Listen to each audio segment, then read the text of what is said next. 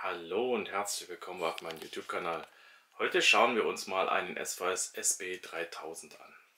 Wie er so aufgebaut ist, welche Komponenten verbaut sind, welche Qualität diese Komponenten haben. Und los geht's. Schauen wir mal rein. Okay. Äh, das erste ist die Schraube, womit der Woofer festgeschraubt wird. Ne, die passt hier rein. Zapp. Und wir haben ja auch hier relativ 19 mm ist die, die Schallwand dick bei dem Gehäuse hier wo er reingeschraubt ist. Ein bisschen steht es über, ungefähr so 1,5 cm steht die Schraube über. Okay. Sie ist nicht hier, wie ich anfangs gedacht habe, verschraubt. Ne, also ich hatte hier ist ein Gewinde drin im Woofer. Ich dachte, das wäre reingeschraubt. Nein, ist sie nicht, weil ich kann die Schraube quasi hier drin auch noch bewegen. Ist nicht festgeschraubt. Das ist ein äh, altes Format, was hier verwendet wurde. 5 cm lang, ist ein M4 und wir haben hier, ob man es im Licht sehen kann, ein bisschen, es ist das Vierkantformat gewählt worden, also diese S-Bits äh, vom NSD. Vorher NSD, die haben auch solche Schrauben drin, nur der Schraubenkopf ist beim NSD etwas größer.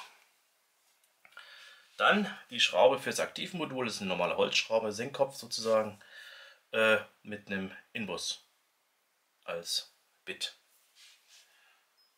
Das nächste, der nächste Punkt, den ich immer anspreche und da, wo ich immer drauf aufpasse, ist, dass vernünftig ein Gitter verwendet wurde. Und zwar ein vernünftiges Lautsprecherabdeckung oder Lautsprechergitter, die den Lautsprecher auch vom Namen her vernünftig schützt. Denn dafür ist es ja eigentlich da.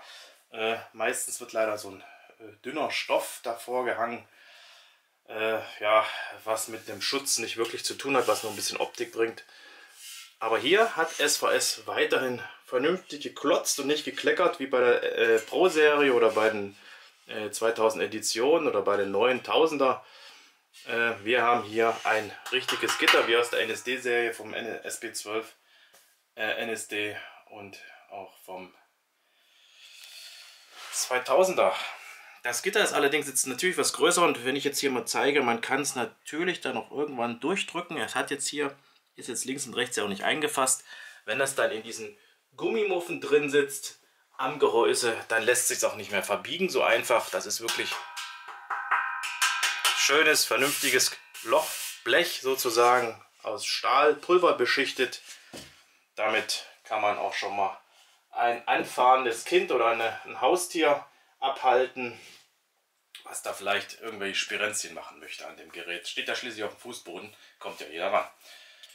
Das nächste, was wir uns ansehen, ist der Woofer. Da muss ich sagen, das Ding ist wirklich äh, 10 Kilo schwer.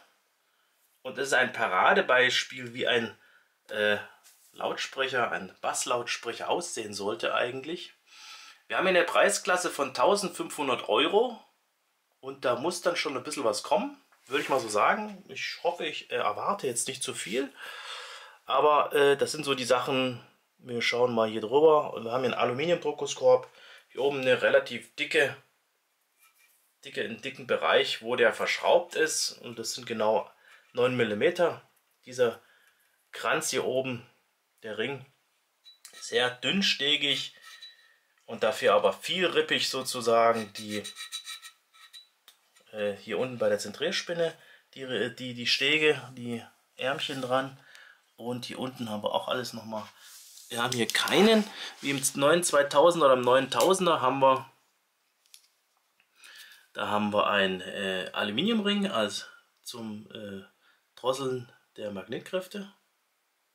Haben wir hier nicht. Wir haben hier ganz normal, ich nehme mal die Taschenlampe in die andere Hand, wir haben hier ganz normal einen eine 1,2 mm dicke Polplatte oben und hier hinten haben wir eine 1,4 und eine Tiefziehung von 1,5 cm haben wir hier unten drunter.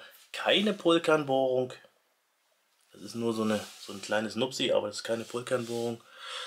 Das Magnetsystem hat hier 1,75 cm, also 1,75 zweimal, also 3,5 cm haben wir hier Permanentmagnetsystem drauf. Fein. Finde ich, ist äh, gut gemacht. Wenn ich jetzt hier mal reinleuchte, gucken wir mal die Schwingspule an. Belüftet ist das Ding ohne Ende, die wird nicht zu warm werden, aber wir haben hier nicht vierlagig, sondern die ist dreilagig meines Erachtens. Das ist eine 63er Spule und die hat einen sehr, sehr dünnen Draht. Gucken, ob ich noch ein bisschen näher rankomme. Also der ist ein bisschen Schatten reinbringen, dass man den Draht vielleicht besser sieht. Der ist wirklich relativ dünner, dünn gewickelt, das Ganze. Und es ist ein dünner Draht, sehr fein das Ganze. Ja, hier haben wir sogar noch einen zweiten Anschluss. Da könnte man sogar noch ein Doppelschwenkspulsystem draus bauen. Das sehen wir aber bei vielen Subwoofer, noch bei B&W und alles. Hier die Befestigung für, für noch ein zweites Anschlussterminal. Das zeige ich jetzt gleich mal hier. Das ist auch eine sehr coole Kiste. Hier hat man nämlich endlich mal aus der Ultra-Serie oder 4000er Serie, die die Ultra-Serie abgelöst hat, im 30 cm oder 13,5 cm äh, Zollbereich. Wir haben hier vernünftige Push-Terminals mit angeschraubt. Die Litze ist eingewoben. Gucken hier mal rein von der Seite. ein bisschen Licht dazu. Teil eingewoben. Wir haben hier oben auch die Belüftung hinter dem der Staubschutzkappe, die wir jetzt sehen können. Also hier ist wirklich an vielen Dingen richtig mitgedacht worden. Ja, wer hat mitgedacht? Sehen wir hier. Wer hat es erfunden? Nein, das nicht. Aber wir haben hier wieder Tim Funny. T991 steht für Tim Funny. Wir haben hier ein Datum draufstehen, 2018. Deswegen die 18. 10 ist der Monat und 27 ist der Tag. Also Oktober 27 hat dieser Woofer das Licht der Welt erblickt. Oder das, äh, ne? Und 6 Ohm steht hier dran. Also nicht 4 Ohm, 6 Ohm. Ich habe gemessen, dass es äh, 5,1 RE ist. Also es wird ja beim Betrieb noch ein bisschen mehr werden.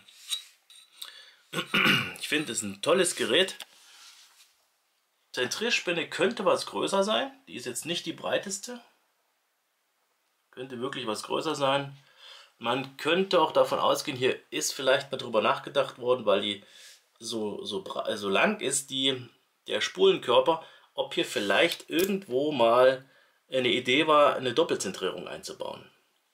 Also hier ist noch ziemlich viel Platz, wo man hätte eventuell oben oder unten noch einen Zentimeter oder was Abstand noch eine Doppelzentrierung machen können. Ja, gehen wir mal hoch in die nächste Etage sozusagen. Das, was der Kunde eigentlich sieht und nur das, was der Kunde sieht. Der sieht eigentlich hier so ein 13,5 äh, Zoll Woofer mit einer gespritzten Polypropylenmembran. Gucken wir mal rein ob wir diese Spritzfäden sogar sehen. Ja, die sieht man hier so ein bisschen im Licht im Kegel, wenn ich mal ein bisschen zur Seite gehe. Wir haben hier eine Staubschutzkappe, nicht invers, also nicht nach innen, sondern ganz normal, mit einem schönen Logo drauf. Die ist Pappe, also aus Pappe, die ist nicht Polypropylen und die ist äh, getränkt oder lackiert, sagen wir mal so. Sie ist sehr gut verklebt. Ich gehe nochmal mit Taschenlampe dran. Wir sehen ja auch wirklich überall gut Kleber drauf. Bei der Staubschutzkappe, die wird sich nicht lösen und wenn man mal rein müsste in den Sap, dann wird es wohl schwierig. Auch hier die, die äh, ich kann den Gummi nicht abziehen, hier oben an der Membran, der ist wirklich perfekt geklebt. Und was ich auch noch zeigen wollte, was ich richtig toll finde eigentlich bei dem Woofer, wir haben hier unten ein Logo draufstehen. Kann man nicht gut erkennen, ne? SVS. Und auch da oben ein Logo draufstehen.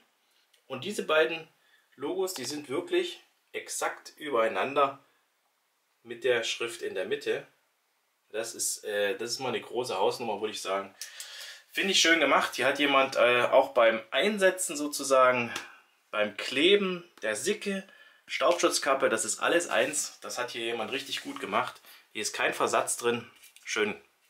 Das äh, ist auch mal was, wo man den, äh, den Subwoofer auch mal ohne Gitter, wenn man keine Kinder oder Tiere hat, ohne Gitter auch mal stehen lassen kann. Das sieht nicht hässlich aus, wenn dann irgendwelche Versätze drin sind in den Schriften. Das sieht immer ganz schlimm aus.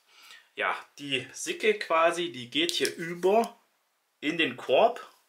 Das ist immer das Problem, gerade an den Aluminiumdruckkostkörben. Wie befestige ich dann die Sicke? Bei SVS hatten wir ja Peerless Chassis früher gehabt und jetzt bei, auch beim 2000er, also beim neuen 2000 Pro und äh, bei dem alten 2000er äh, haben wir die Piles-Chassis, die hatten ja nur so einen kleinen Ring an der Seite, der geklebt war. Hier haben wir jetzt wirklich eine richtige große Klebefläche und die ist wirklich perfekt geklebt. Ich komme hier auch gar nicht runter mit meinem Finger. Ich kann sie hier gar nicht anheben. Also hier der Kleber, der geht wirklich bis fast unter den Rand. Man sieht aber nichts.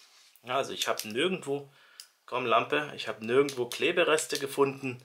Dass man sagen könnte, okay, hier ist nicht sauber gearbeitet worden, aber egal wohin ich den drehe, der ist wirklich tipptopp, wirklich tipptopp verarbeitet. Also ich kann hier nirgendwo meckern. Wir haben hier ein Woofer, der ist wirklich toll. Den haben sie richtig gut gemacht. Hier unten haben wir die Abdichtung drunter. Ganz normales, das ist ein ganz normales Band. Auch sieht, hier sieht man die Fuge noch. Ganz normales Klebeband, sagen wir mal so. Ja, da könnten sich auch einige Hersteller mal ein Beispiel dran nehmen, was so wie so ein Woofer eigentlich zu sein hat. Ich denke mal, der wird doch sehr gute Tiles-Mal-Parameter haben. Wir hatten äh, 16 Hertz als minus 3 dB, das ist schon, das ist schon wirklich richtig gut. Schauen wir mal uns das Gehäuse an. Das Gehäuse hat mich sehr, sehr abgeholt. Ich muss echt sagen, hier haben wir endlich mal ein Gehäuse in der normalen Preisklasse. Wobei 1500 ist eigentlich nicht mehr normale Preisklasse, aber ne, den kann man unter 1000 Euro für 1000 Euro ungefähr gebraucht kaufen. Mit gut Garantie, mit Aussteifung drin. Hier gibt es wirklich eine 19 mm dicke Aussteifung in dem Gerät. Ich nehme mal wieder mein Lämpchen zur Hand. So, und jetzt gucken wir uns das ganze Ding mal an. Fangen wir an bei den Füßen. Ganz normale. Die Teile, die kennen wir schon von allen SVS-Subwoofern. Die sind alt, die baut auch Randall ein. Ein ganz normales Einschraubmütterchen dazu. Das ist so das Mindeste eigentlich, was ich bei einem Subwoofer sehen würde wollen. Nicht irgendwelche aufgeklebten Gummifüße, weil die lassen mit der Zeit nach, diese Klebe, diese, dieses Klebezeug, wie es leider äh, bei Elac verwendet wird. Wir haben hier eine Beschichtung Black Ash, das ist eine Folie. Da gefällt mir zum Beispiel dieser Kleberand nicht, den es hier gibt. Aber das ist unten auf dem Gehäuse, kann man auch vernachlässigen und sagen, ist wirklich nicht so wichtig. Was aber, wenn wir es dann von hinten ansehen, uns das typische SVS natürlich wieder zeigt, dass es da immer noch ein bisschen Probleme in der Verarbeitung gibt. Aber wir bleiben erstmal hier vorne. So, hier haben wir dann die Front. Die ist relativ dick mit 38 mm und wir sehen auch hier, dass sie aufgedoppelt ist. Ich gehe mal mit der Tasche noch ein bisschen raus. Ich drehe es mal anders ins Licht, so dass das Licht von der Seite kommt. Dann kann man auch hier wunderbar erkennen, dass wir einen 10 mm haben und hier vorne wurde mal eine 28er Platte davor geklebt, dass wir auf die 38 kommen. Hier bleiben noch, können noch zusammen mal messen, hier bleiben noch äh, wirklich viel gegenüber einem B&B oder eine Nubord bleibt ja noch richtig viel Material übrig. Ich habe es mal angelegt, kann man mal gucken. Also ich komme hier irgendwie 18 mm, was hier noch übrig bleibt an Material. Für den Lautsprecher, wo der wirklich reingeschraubt wird. Und davor sieht es auch nicht wirklich schlecht aus. Da haben wir dann immer noch auch so ein, na komm, so, haben wir dann immer noch auch irgendwas um die 18 mm. Also das ist nicht schlecht, zweimal 18 mm haben sie sich wirklich äh, Gedanken gemacht. Ja, Einschlagmuttern und natürlich überall auch Keile drin. Oben und unten nochmal die Schallwand befestigt.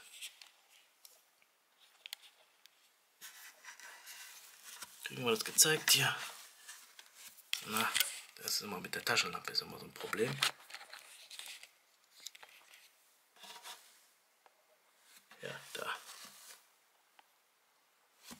Also Keile sind genug überall drin. Auch hinten an der Schallwand. Was ich aber toll finde, ist diese Aussteifung hier. Die ist so ein bisschen wie bei, wie bei Elac. Aber hier ist so ein... Hier wurde für den Magnet wurde hier was ausgespart. Das heißt, man hat hier was reingefräst. Hier sieht man es vielleicht noch ein bisschen besser. Ich gehe mal mit der Taschenlampe so ein bisschen zur Seite. Da ist etwas ausgenommen worden. Und dann hat man hier so ein so ein äh, Dämpfungsband, so ein Sanitärklebeband, einseitig Klebeband draufgeklebt, wie man das für Lautsprecher nimmt, das Abdichtungsband. Ja, da hat sich mal jemand wirklich Gedanken gemacht. Ja, normaler Sonophil ist hier drin, 4 cm, getackert, deswegen sind hier auch diese Einbuchtungen von den Tackernadeln drin. Der ist nicht geklebt. Ansonsten ist das Gehäuse wirklich sauber verarbeitet, es ist dicht. Es ist überall da, wo es hingehört, mal Klebstoff gelandet. Also kann man echt, das ist eine Verarbeitung, die ist sehr gut. Hier vorne sieht man auch, dass die Folie geschnitten ist. Und dann wurde, bevor die foliert wurde, wurde hier mal mit einem, mit einem Pinsel ein bisschen was schwarz gemacht, dass wenn ich jetzt den Woofer hier quasi draufsetze, hier nicht vorbeigucken kann. Zwischen Woofer und äh, Gehäuse kann es einen Millimeter geben, wo dann dieses helle MDF, äh, die MDF-Farbe durchguckt. Deswegen hat man es schwarz gemacht, damit man, wenn man dann äh, einen Abstand hätte von geringer, geringen Abstand, dass es nicht ganz so äh, durchschimmert. Ja, die normalen Gumminippel, die wir hier haben, kann man auch abmachen. Ne? Die kann ich auch hier, hier rausziehen. Na, die könnte ich jetzt hier rausziehen, dann könnte ich das Gehäuse auch lackieren oder neu folieren. Ja, wir schauen mal hinten hin. So sieht das Ganze von hinten aus. Und hier fällt leider auch wieder ins, ins Auge, dass wir hier ins Holz schrauben, was ich nicht so schön finde, weil hier diesen, diese paar Dinger da äh, für die Verschraubung, diese Einschraubmuttern oder ein, na, das hätte man ruhig machen können. Äh, aber naja, gerade weil, was geht am meisten kaputt? Aktivmodule. Das ist das Bauteil eigentlich, was zu über 90% an dem Subwoofer kaputt geht. Es geht nicht der Woofer kaputt, sehr, sehr selten kaputt. Eigentlich gehen immer die Aktivmodule kaputt. Ja, und dann sehen wir hier auch die Folie, wie abgeschnitten wurde. Das kriegt sogar Velodyne besser hin. Die haben dieselbe Black Ash Folie. Auch diese Naht hier oben in der Mitte. Aber die haben das hier besser hingekriegt. Gerade hier die Kanten. Das kriegt Velodyne deutlich besser hin. Ihr habt ja den äh, DB15, Diplo 15, eventuell den Test schon gesehen. Schaut ruhig in die Videos rein. Ich habe auch andere noch da, andere Subwoofer. So, dann haben wir hier überall in, den, ist die Aussteifung drin, diese Ecken, die das stützt nochmal mit. Auch hier oben, ganz klar. Und auch hier an den Seiten überall sind so kleine Ecken drin. Und natürlich auch unten an der Rückwand sind die Ecken drin. Also hier ist wirklich, man sieht es dann auch im Woofer-Test, das Gehäuse ist sehr, sehr, sehr, sehr stabil. Also da für das Gewicht 10 Kilo wiegt das Gehäuse, hat eine Abmessung von 38 cm auf allen drei Kanten. Also auf allen drei Seiten 38 cm oder 38 cm und 35 mm. Also man sollte jetzt nicht auf dem, also 38 Kantenmaß.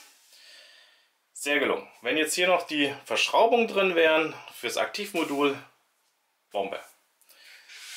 Ich finde immer diese folierten Gehäuse, auch wenn sie in der Verarbeitung nicht so schön sind, weil hier manchmal sich auch was löst an den Ecken, finde ich dennoch besser, weil sie gerade im Kinobereich nicht reflektieren.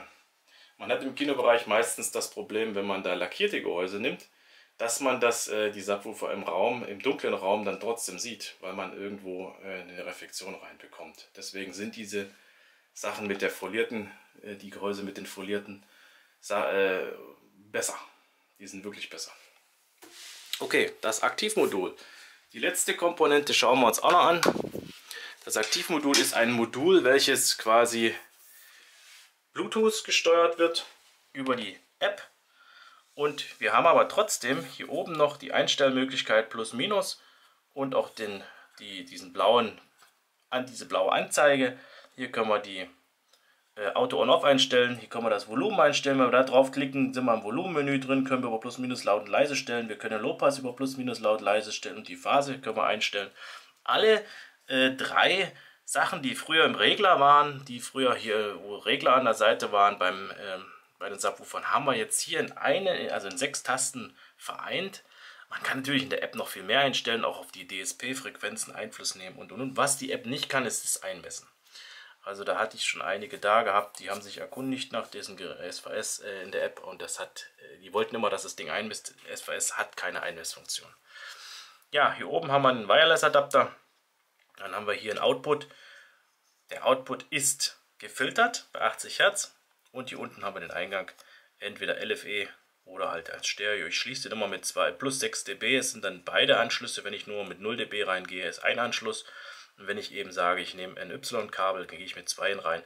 Ist technisch vollkommen Wurst. Und was ich auch noch sagen wollte, hier unten haben wir einen dreipoligen Stromanschluss. Wir haben einen richtigen schönen, vernünftigen Einschalter, einen richtig breiten vor allen Dingen, den man auch mit dicken Wurstfingern erwischt. Und dann haben wir hier auch einen schönen Anschluss. Äh, zu erwähnen ist natürlich auch ein Trigger-Anschluss. Das hat SVS Gott sei Dank immer drin. Auch B&W. Leider haben die anderen Hersteller es nicht. Arendel hat es nicht. Nubert hat es nicht. Velodyne hat es auch nicht mehr. Schade. Ja, er lag auch nicht. Ja, Bluetooth gesteuert, steht doch drauf, ne? Okay. Schauen wir mal, was so an Komponenten verbaut ist. Wir haben hier ein Kabel wieder doppelt. Nämlich, wir haben hier wieder gebrückt. Es ist ein Stecker mit 2 plus, 2 minus. Und es wird, die Endstufe wird am Lautsprecher gebrückt in dem Kabel. Hier ist ein Lötzinn drauf. Ich hätte es gerne äh, gehabt, dass es nur an den Eingängen verzinnt ist. Also hier nur ein Zentimeter und dann hinten nicht. Aber das ist auch egal, muss nicht unbedingt sein. Denn wenn das äh, nicht verzinnt wäre, findet es in den Push-Terminals, so heißen die Dinger, etwas besser Platz und rutscht nicht so einfach raus, weil jetzt sind hart auf hart ist immer mit Rutschen, aber die, die Spannung von diesen Push-Terminals ist schon sehr, sehr gut. Ja, hier geht der Strom rein, zack, aufs Board drauf. Dann haben wir hier unten äh, das Netzteil, bis ungefähr hier hin ist das Netzteil. Hier ist die Übergabe dann an die Endstufe hier oben. Ja, am Netzteil ist natürlich, also auf der gesamten Endstufe, ist relativ, ja, nicht relativ, es ist schon verdammt viel von dieser Kontaktflüssigkeit verbaut worden, die äh, vor, vor Bewegung dieser Bauteile schützen soll. Ja, Mikrophobie, das Thema, hatten wir auch in anderen äh, Videos schon.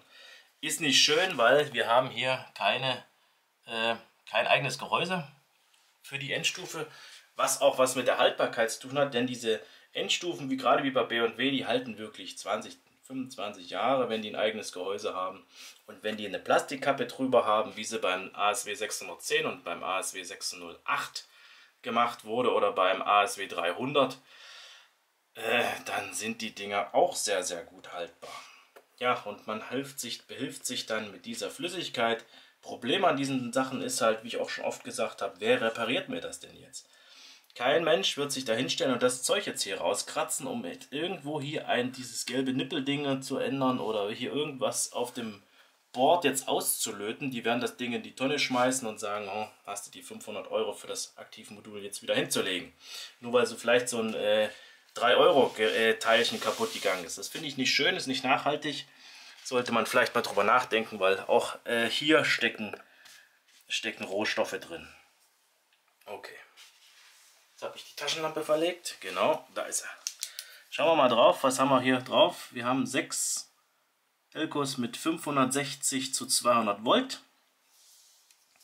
Und hier im Endstufensektor haben wir 1000 Mikrofarad zu 80 Volt. 80 Volt haben wir auch beim M-Randall drin, nur der M-Randall hat äh, eine ganze Ecke mehr Elkos, äh, Elko-Kapazität drauf. Können, ihr könnt ja mal rechnen. Äh, diese Silberspangen, die wir hier sehen, da sind die Leistungstransistoren drunter, hier vom Netzteil in dem Bereich und hier oben haben wir die Endstufenleistungstransistoren. Die sind hier über das Blech auf, das, auf die Endstufe drauf gegeben. Hier unten ist so ein Blech drin, wo man es erkennen kann. Ein bisschen kippen. Da ist die Endstufe, äh, die, die, dieses Blech, wo die Energie quasi hinten in die hinten in die auf die, äh, auf die Endplatte, auf die Verschraubungsplatte von dem Endstufenmodul drauf geht. Die ist auch aus Aluminium. Diese große viereckige Platte dient dann als Kühlkörper. Ja, hier oben haben wir das Display. Also Display würde ich es jetzt nicht nennen, diese Tasten, diese Eingabemöglichkeit. Und hier unten sehen wir auch, das ist das DSP-Board, wo der DSP-Chip drauf ist. Und da haben wir auch draufstehen, dass es ein SB3000 ist. Hier ist der DSP-Chip auf der Seite wieder zu finden. Da. Ja, das Board ist ja auch wie beim Laptop angeschlossen, genau dieselben Anschlüsse wie bei so mobilen Geräten. Und dann haben wir hier unten steht irgendwas drauf, die genau die Firmware steht noch drauf. Und die Tests, die mit dem Modul alle schon durchgelaufen sind. Sonst haben wir hier keine großen Erkenntnisse, die wir rausziehen können. Hier oben haben wir noch was stehen. Ich nehme es mal, mal zur Seite, vielleicht sieht man es da besser. Naja, das macht die Kamera nicht scharf. Doch, hier 2018 steht drauf. Hier hinten September 14.